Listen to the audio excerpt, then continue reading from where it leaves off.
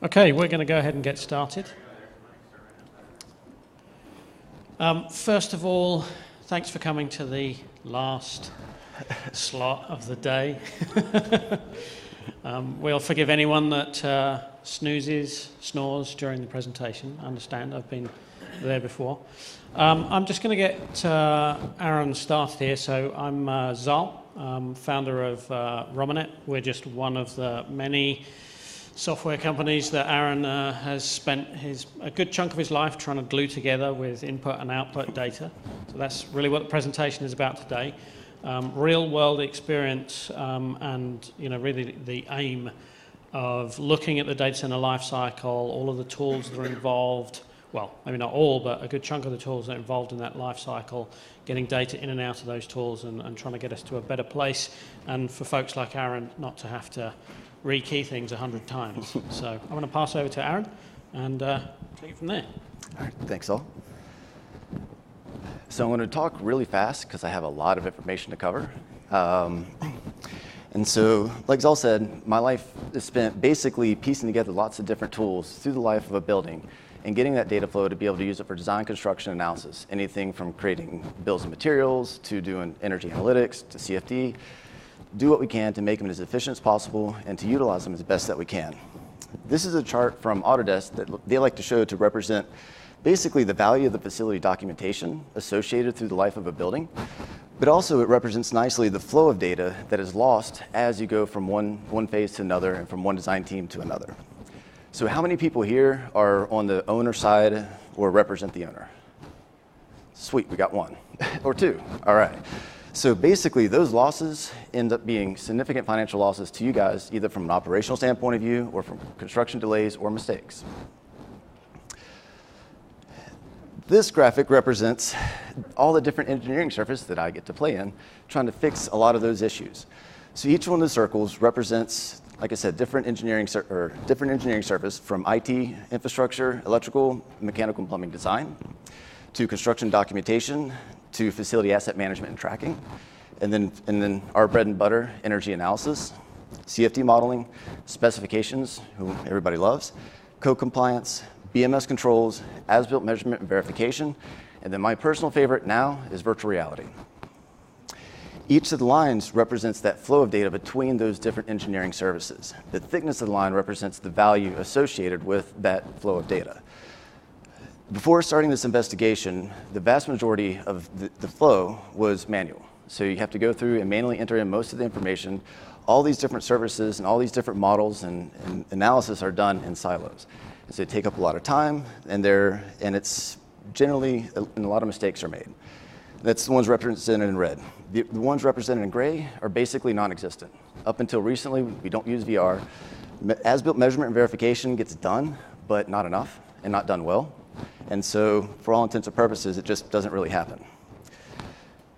We're not going to talk about all of them, but we'll talk about most of them. Facility asset management or facility asset management and tracking and code compliance is important, but we ran out of time. So again, not going to read everything that's up here, but these are all the different tools that we've we went through and tested through this investigation to see what we were able to do. We used two different pilot projects. We have one from Rahi Systems, their mini DC for its simplicity. And then we also took the BIM models associated with one of my favorite hyperscale clients uh, and their large data center. And so we took that, gutted it, and used it to be able to experiment with to see what we could do on such a, such a large scale. To start, we looked at Taco uh, HVAC's Solutions Pro. So this is used for mechanical design, and then also we're doing the single line diagrams and the control diagrams associated with it. From there, we're able to create point list, and then we're able to link this into Revit through their plugin, so you can pass information to the families associated with your BIM model to be able to utilize that data. This is the, the, um, the hyperscale data center in Revit. I'm not going to talk too much about Revit itself because I'm sure you guys are familiar with it as it's an industry standard.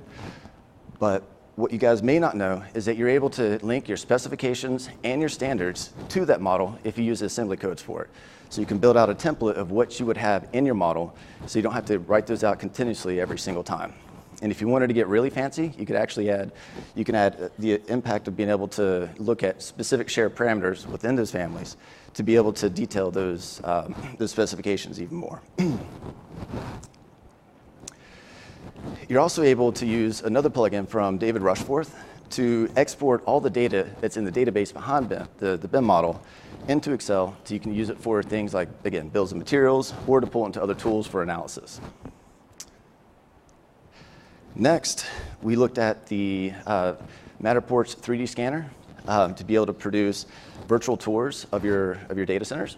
Um, nobody would let me do a high definition um, virtual uh, point cloud of their interior data center to share it to the public. So I just used a rather large um, mechanical room from Elite CADs that they scanned in. So this scanner, you go through in each of the circles, you place the scanner down, and it does the scan for you. There's no like targets that you have to, to line up to, to make it work. The guys at Matterport do the post-processing afterwards for you. And you're able to create these virtual tours to which when you're doing your, me your um, measurement verification for your as-built, to reference it. Not only can you do a virtual tour, but it also creates a 3D point cloud that you're able to use ReCap in order to pull into to Revit. Once you have it into Revit, you're able to trace on top of it or take the as-built models that were used, that your consultants use to verify, you know, are they, are they accurate? And this is much, much faster than having to go through and manually measure stuff out yourself and be able to, and then, and then digest that into Revit. Next, we're going to talk about CFD modeling, specifically Future Facilities Six Sigma DCX. Um, they have the ability to be able to pull in equipment through CSV files into their tool, so you can look at the installation or what you have on your, your floor.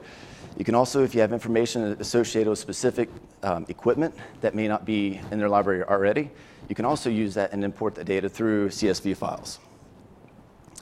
And so, and, and from, um, from Six Sigma, there's also a lot of information that you can export out to other tools too. So again, they use a XML file that's compatible with uh, Excel spreadsheets.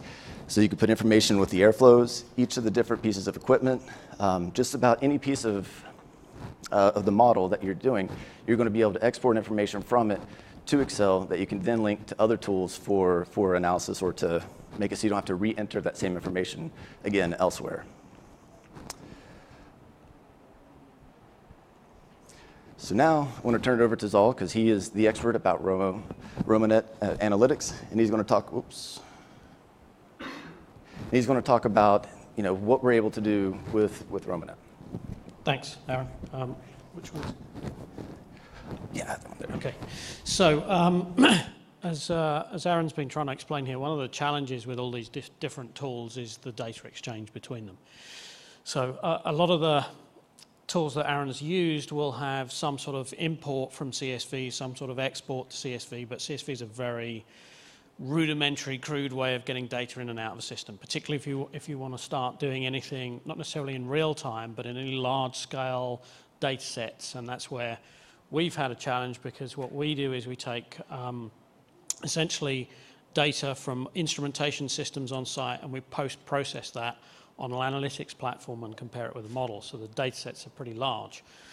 Um, what we'd like to be able to do again is start pulling information from the other spatial tools out there. So our particular application is all around energy and energy based with a financial element to it, but we don't maintain any spatial. So if you look at things like CFD, um, uh, uh, there would be a much bigger benefit to the, the end users and the operators of, of these facilities and the systems in there um, and maintaining that environment, again, if there were ways to bridge the information on a more automated basis between these platforms. Um, so just very quickly, a little bit about this uh, particular application. So this is the Romonet Analytics platform. Um, and again, what it's doing is it's taking a essentially a predictive model uh, of the facility and the equipment within there, the design specifications, sequence of operations, control strategy, all the elements that affect data center performance. Um, and then it goes ahead and pulls uh, information post having collected that through uh, BMS monitoring, EPMS systems, DCIM systems, whatever those systems are.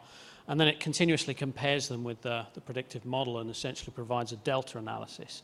So if I I don't know if I can pause this, but if you look at the top part, the orange part of that graph, that's uh, some of the actual data from the instrumentation, and the top of the filled area of the graph is the expected. So we're able to see and track performance deltas at a building level, at a subsystem level, at a system level, and a component level, which when you look at the types of data centers folks are operating today, they're getting more and more highly instrumented. Um, the ability to actually understand what the issues are underlying that may suddenly raise up many hundreds of um, alarms and alerts at the top um, is really quite complicated. So this provides an ability to, to actually see when I get 15, 20, maybe 150 alarms at a top level system due to a, a component uh, moving off design spec or having a fault condition further down, um, how, do I, how do I remove uh, and eliminate the noise and get to the, the true signal um, underneath? But again, this, this presentation is more so about um, the data exchange between that. There's um, a discussion going on at the moment about um, trying to get to a standard XML, open XML format, um, both around the static information uh, that goes in here around design performance specs, so an XML schema that you can describe a piece of equipment, whether that piece of equipment's an IT device or whether it's a chiller or a compressor, doesn't really matter, but how you describe the performance of that device in a, in a machine readable format and a format with a common schema that you can data exchange with, with other applications. Um, and then how you can go on from there to take the, the real-time information. And I know there are a couple of folks in this room that are passionate about trying to, A, disaggregate the software from the hardware um, side of the platform, but also enable data exchange across the whole, uh, the, the whole stack in the data center. So from an application level to an IT systems, IT systems management monitoring, uh, down into building management. I mean, really, it was a very good white paper written years ago by Google called the warehouse size computer. You know, really these facilities should be managed overall essentially as a single unit, not with all the very separate at the moment control systems and many of them being proprietary and not enabling uh, the good data exchange between those in order to get um, both the system level performance that the IT and applications guys are looking for, but also the, the, the data center level performance as well. So um, happy to go uh, into more detail. I think the video is about to run out, so I will hand back to Aryn. Thanks. Thank you. All right. So the next tool we're going to talk about is from iTRACS. And so I know DCIM is generally a dirty word in our industry, but um, these guys have actually done a pretty good job. They're able to aggregate data from all types of different sources and pull it into their tool. They, they represent everything in 3D, and then they have it so you can quickly go over to 2D drawings, and then you also have uh, power chains to represent the single-line diagrams associated with the, the connectivity of the equipment within your data center. What's cool is all this stuff is connected, and then also it's all interactive, so you can click and get information that you need from just about anywhere within the tool. You also have the ability to, to show, well, they're showing different racks. So this is the, the mini DC model that we use to experiment with, you know, how well does it work. And so you can look at the front of the rack and the tops. And then also they have the ability to pull in CAD drawings, 2D CAD drawings that you can use to locate your equipment. Again, what's interesting is that within the 2D tool that you're, you're locating your equipment is each of the components that you drop in is live. So you can actually click on it and get information associated with that specific piece of equipment as you're going through and doing your layout. They're also able to pull in 3D CAD drawings, but it has to be converted over to, to 3ds Max files and then brought into their tool to be able to, to trace on top of it. And so again, some of the things that they're able to do is they can do cable pathing automatically, and they can also represent that, they can represent a lot of it massively, and, and the connectivity between the different tools. And so, and they also have a massive library of equipment, over 70,000 different entries that you can be able to pull from. And they have a dedicated team to add more stuff to it as, as they, uh, if, you know, if it doesn't exist. And so,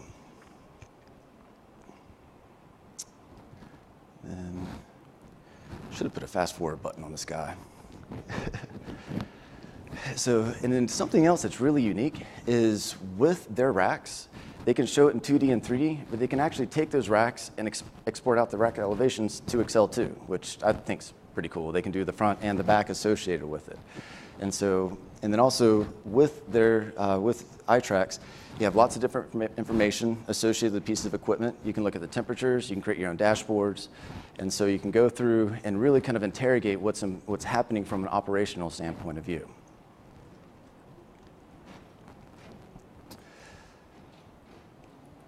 So, and so again, here we're just looking at uh, the same type of thing, looking at the connectivity on a bigger, they use one of their models to show it on a, a bigger scale. So we have the cable pass connecting to the, to the PDUs, and then going out to the storage racks, and then throughout the rest of the, the like uh, as Zal said, the whole uh, facility, and you're able to pull that information together and aggregate it and look at it from a systematic standpoint of view. And there's one part that I really want to get to is where they show the, the lines or their line charts and documentation. So again, we can do the, the dashboards, but within the dashboards, they're able to, unlike many of other tools, they're able to represent lots of different data associated with a different piece of equipment and massive amounts of it. So most tools tend to kind of crap out around 10,000 data points. These guys can go up into tens of thousands of it, and then they're able to tie into OSIsoft PI so, and, to, and if you use those guys, you're able to take what they have and look at it even to millions of data points. And so with very little lag and, um, and, and yeah, with very little lag. Again, what these guys, with the whole, with every, what they're able to do too, is they're able to take all their data from their, their line charts and into the tabular part and export it out to Excel. Um, many of the tools that that do that are a pain. So if you have to work with ALC BMS controls and you want to extract out all that data, you generally have to go through and click on each individual one to be, and then download the files and be able to, to utilize that. These guys, what you're able to do is export out on a batch scale all of the data to either Excel or to other different formats. And they tie into lots of other uh, different tools so that you can you know, figure out what's going on. And then what's also nice is they have different uh, plugins associated with the um, with web servers, and they can aggregate data from lots of different sources, and you can utilize that to pull data in, standardize it, and then pull it into other tools like uh, Roma Analytics or Six Sigma for CFD modeling, and reducing again that having to do the manual entry or the the, the, uh, the processing of that data. Last but not least is virtual reality. So anybody here familiar with Oculus Rift? So there's a tool from a company called Revizto that allows you to take your BIM models, CAD drawings, and SketchUp models and pull it into their viewer so that you can collaborate with your team you know, uh, through the cloud and do markups and do coordination with that.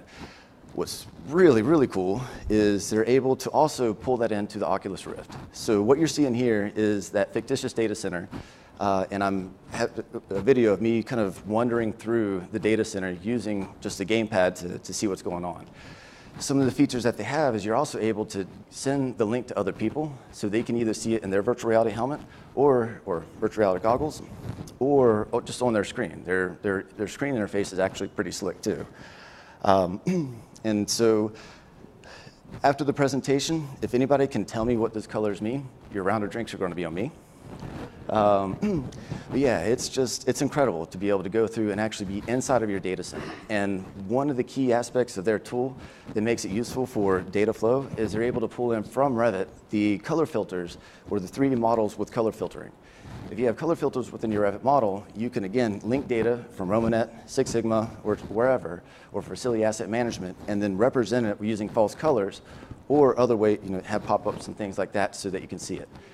Takes a little bit of effort, but it's, it, yeah, it works. Some of the other things that they have is, again, you can do the markups.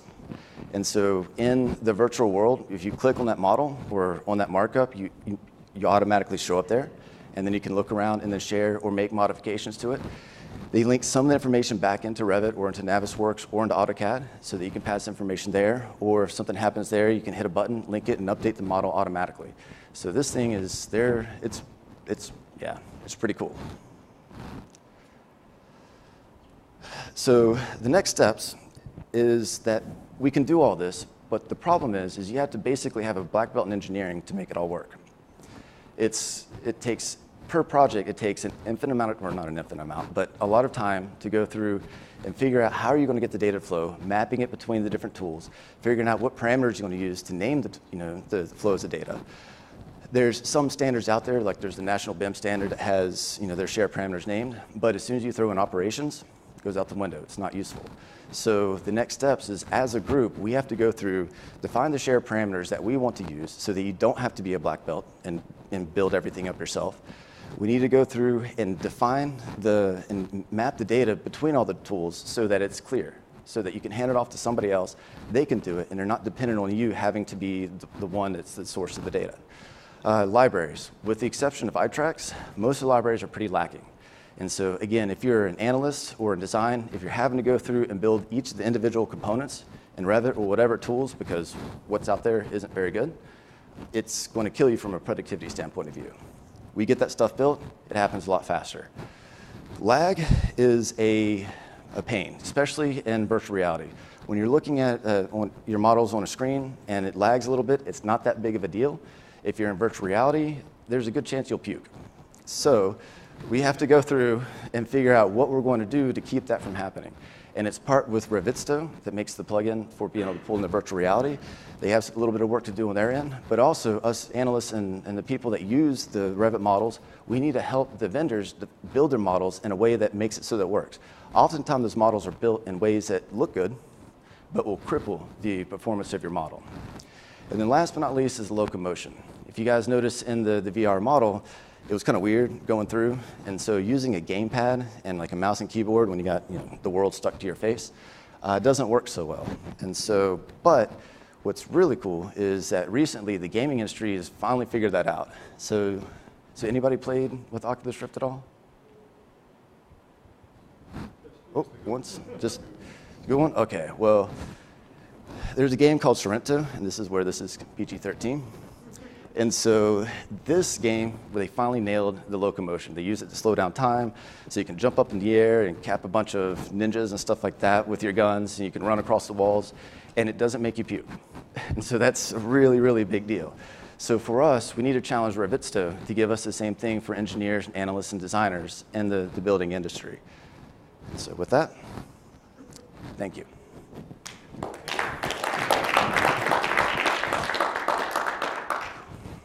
All right.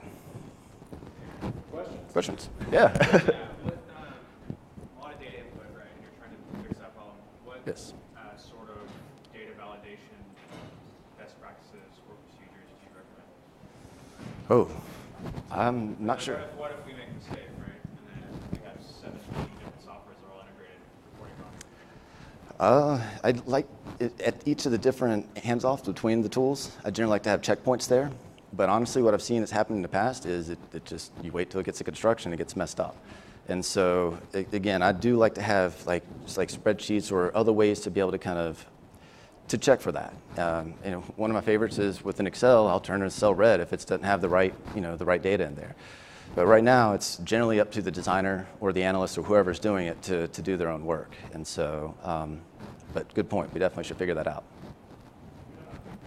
Additional, additional answer to that question as well. Um, that's on the kind of static flow data between as, as you're putting, you know, building these things up from the beginning. When you get into the um, the more automated flow of data into these tools, one of the things we've done is um, put some. we- We've developed some machine learning capability on the data ingest side of our platform that basically does things um, like, I mean, some really simple stuff initially, things like outlier detection. So as, as you're getting data streaming in, it's not just coming in and skewing everything on the other end. You've got something up front that's doing some validation of data. And it's quite interesting because when we, when we started down this, down this route, we expected that a lot of the data coming out of real-time systems um, would be high quality data. Um, you know, some of it's being driven by, you know, high quality instrumentation points. Turns out that it's not as high quality as we expected. I think we expected it to be, you know, 90% good data, 10% bad.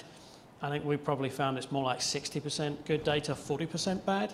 So we actually developed those tools out of necessity because, you know, a lot of that garbage data was just throwing the system wild, you know, garbage in, garbage out. So there's still work to be done there, and, and I think it's a slightly different challenge dealing with it when you're perhaps validating, if you're looking at a Revit model and you're validating um, data that's come off essentially a single line drawing that's been you know, put into, uh, into a model versus having to do it on the fly when you've got you know, data um, streaming between different systems.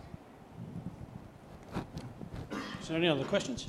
Yeah, I'll ask. You know, I think a, uh, all these uh, smooth handoffs and no loss of data is the holy grail of, of large, complex projects. Has uh, is there any good? You know, you know, there has been a lot of improvement of tools. Is there any data on you know? Uh, speed of projects, uh, less errors, things like that. Is I don't know if Autodesk publishes anything like that, or what have you, you know, Uh, over the past 10 years, you know, you can do a complex project, uh, you know, 20% faster because of less. I wonder if that exists. I don't know. they talk about a lot. Autodesk likes to push BIM, and so do I. I think BIM is amazing compared to, to AutoCAD.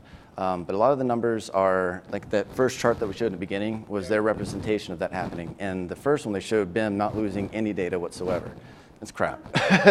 I make my living off those losses of data, and because you, guys don't like to deal with it. and so, um, you know, I'd, I'd look at some of the design build firms. I could find that data for you if you like. Yeah. So,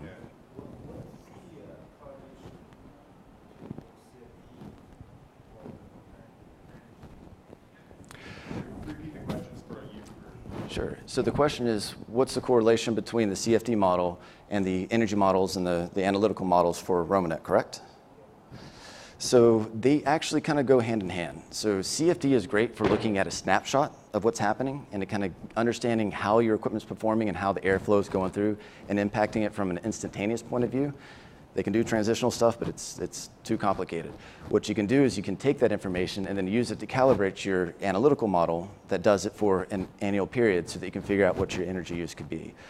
Correlation wise, um, the dirty secret is you can make it whatever you want. I mean, most of these tools, yes. Why you don't you just use the real micro data center data put into the energy model? Wondering It's Well, you want to use that data if you do have it. If you have real data coming from the equipment, that's, you know, real time, it's obviously a lot better. You're going to use CFD if you want to do troubleshooting. So you take that same data, you would put it into your CFD model if you can, and then use that to calibrate it and get a baseline. And then if you're going to go through and look at, you, you have an area where you're getting hot spots, or maybe you want to squeak out another one or 2% in your capacity and you're just trying to eke it up a little bit more, you use the CFD models to kind of do the what ifs to see if it's going to go wrong. Because, you know, 1% capacity is great uh, unless you burn things up.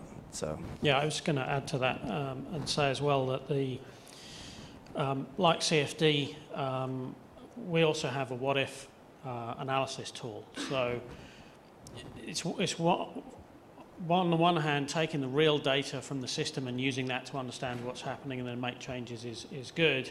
But generally, people don't like messing around in the live data center without having some idea of what the impact is going to be. So, both the CFD um, tools have the capability, and some of the analysis tools we have as well have the capability of taking essentially a, a download of the live running state of the data center, putting it into a what if state, making the changes, seeing what the impacts are, um, and then going ahead and making the change based on some knowledge of what you believe uh, the, the impact's going to be. As, a, as an example, I just caught the end of uh, Rob's previous presentation um, where, where someone was talking about the, uh, you know, dealing with dealing, dealing with different cooling loads and, and you know, requ- air requirements for different servers in, in uh, a kind of mixed environment.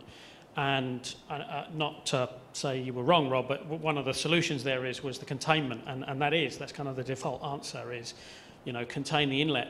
But we've seen from a lot of the, the actual real data analysis that even in a, in a contained, a very well contained environment, you will still get um, differences in inlet temperature, you will still get pressure differences, you know, even in a fairly small uh, contained cold aisle, for example.